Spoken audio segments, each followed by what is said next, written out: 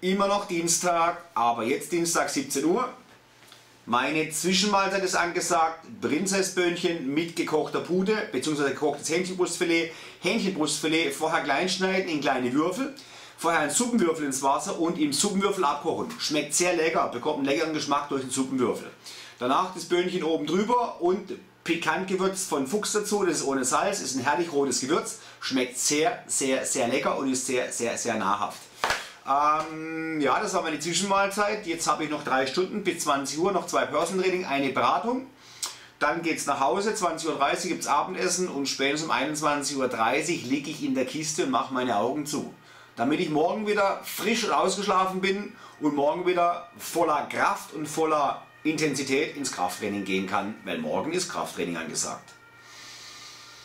Ja, das war es eigentlich schon mal.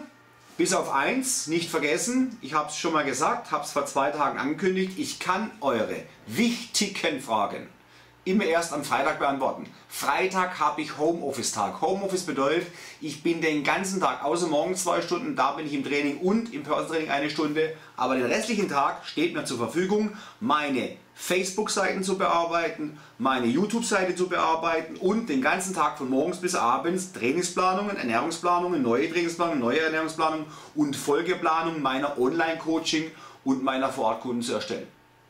Somit habt bitte Geduld bis Freitag. Freitag werde ich eure wichtigen Fragen, die noch nicht in meinen Clips beantwortet sind, werde ich definitiv beantworten, so gut wie es geht. Bis dahin alles Gute, Andreas Trienbacher, bis die Tage.